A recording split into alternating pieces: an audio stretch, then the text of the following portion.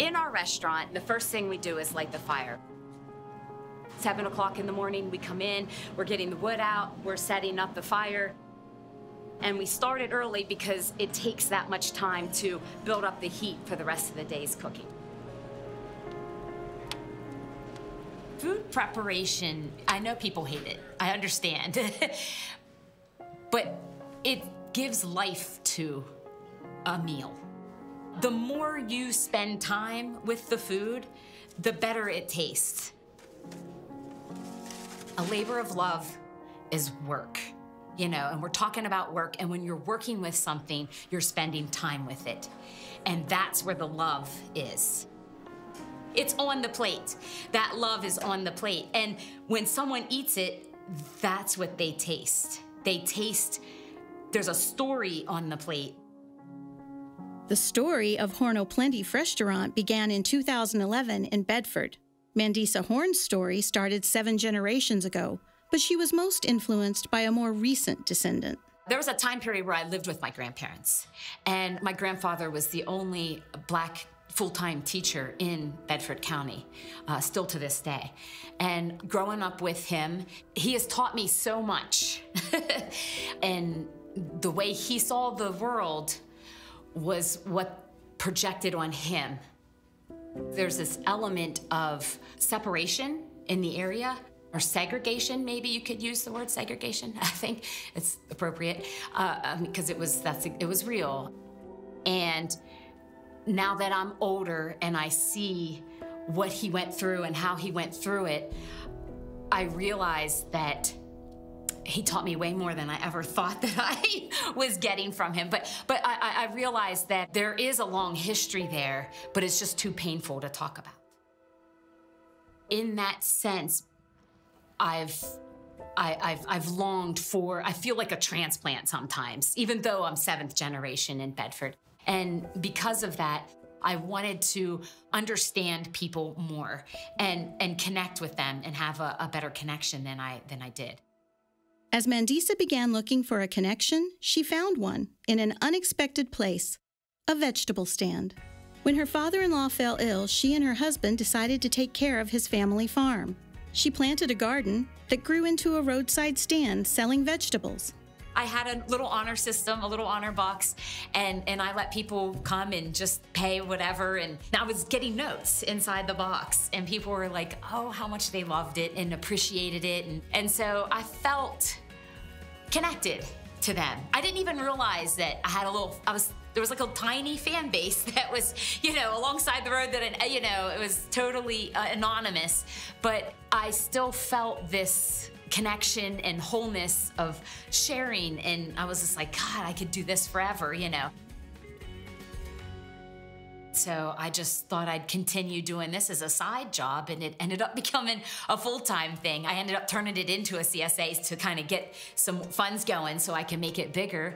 And I had the first CSA in Bedford County. I had up to 50 members before I opened the restaurant. And it was cool because people would come to the farm and I was making packages for people. You know, I was I was planting. My my mother-in-law, she would help and get in there and we would clean up everything and and just package everything so beautiful and stick them in their little boxes and it was cool. And that's whenever real food conversations started happening for me and and uh, light bulbs started kind of going off and just like, man, this is this is sharing and this is fulfilling and this is really feels good. This little vegetable stand was Mandisa's first step to connecting to the food community. For her next step, she went overseas. When we went to Germany, it was like I had an aha moment there. And it was it was when we were hiking up this Saxon, Switzerland mountain and at the top there was just like some lady with a table and she had this beautiful bread and like sausage and it was just cold But it was so delicious. I had to chew it and it was tasty. It was my first introduction to sourdough bread. Then, when we were in Mexico, we stayed with some native Yaqui Indians. Yaquis don't eat uh, junk food with the best meat. The best meat. The best meat in the world. That's true. That's where they had these mud ovens. And that's when I was just like, what is this? and can I make sourdough in there? and the, the, coolest thing about that was standing there with all the women in the village. They all get together, they're all congregated. It's a connection that we all are involved in patting out these tortilla shells. I started embracing these other cultures. It really impressed on me connection with the food and the flavors and then, you know, the end result. Whenever I traveled, I realized that was what they were doing different, is that they were taking time to spend time with the food and not being in a rush. When I'm working with food, it centers me. It does, it makes me whole. And that's why I can relate to people with food because I'm giving my whole self. But when you're working with the food and you're taking the time to do something, it's an investment. And that's what I'm talking about. These other cultures are investing into their food. Mandisa wanted to share what she learned with the people of Bedford. While in the planning stages of opening a sourdough bake shop, she learned that there was a historic building for sale only three miles from the farm. I always loved this building, and I also loved the contractor because he was a craftsman. Like he he he did things the long hard way. He would take things apart before you know a building apart and then reassemble it. When I realized that this place was for sale, I was like, huh. I was interested in the building itself because it's so beautiful. And then I was passing it. I was driving past. I just saw people dining. I saw people enjoying food. And I was like, in, in my head, it wasn't happening. but I, I saw that and I thought, you know, someone should do that. And then I was thinking, I just got this like feeling like I should do that.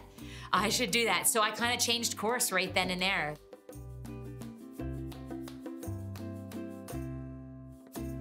What's most unique about Horn of Plenty is we try to make everything fresh. And coming from a chef background, making everything fresh in today's society is very hard in the restaurant business. Um, so we try to source everything as local as possible, fresh as possible. We cook everything from scratch. Uh, we try to use the least amount of preservatives as possible. It's a philosophy of farm to table. And that's one of the most important things I think we do here is maintaining that integrity of trying to get the most nutrients and vitamins and goodness out of all of this beautiful food that we can create. We're known for our brick oven pizzas, our Moroccan pulled pork, which is just a blend of seasonings on a nice slow roasted pork. Our house smoked beef brisket is really popular. We've established many dishes over the years because we're seasonal, so there's lots of farmers are bringing us different things that we have to use up because we don't want it to go bad. When I opened the restaurant, I wanted connection with people. I wanted to feel a wholeness within the community. The only time I've ever felt whole was whenever I'm cooking for someone or I've traveled and I was with other people that were doing their living cooking traditions, sharing recipes and talking about food. So that's why I, I, I needed to feel whole and, and actually be able to, to, to talk about a common culture with other people. and I decided that I could bring what I felt when I was with these other groups of people from all over the world cooking here to Bedford. I wanted Bedford to experience what I experienced because it changed me, and I thought that it would help change Bedford.